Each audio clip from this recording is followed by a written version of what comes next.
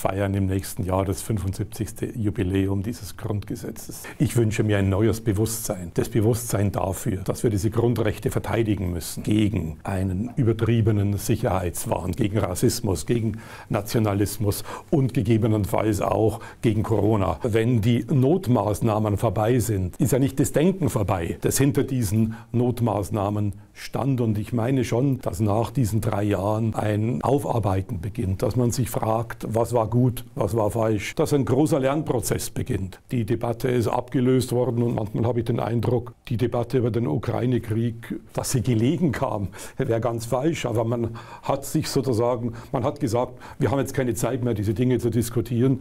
Wir müssen uns ganz neuen, großen, wichtigen, furchtbaren Problemen zuwenden. Jetzt bleibt die Aufarbeitung dieser Grundrechtseingriffe auf der Strecke. Es waren die größten Grundrechtseingriffe, die das Land seit dem Zweiten Weltkrieg erlebt hat.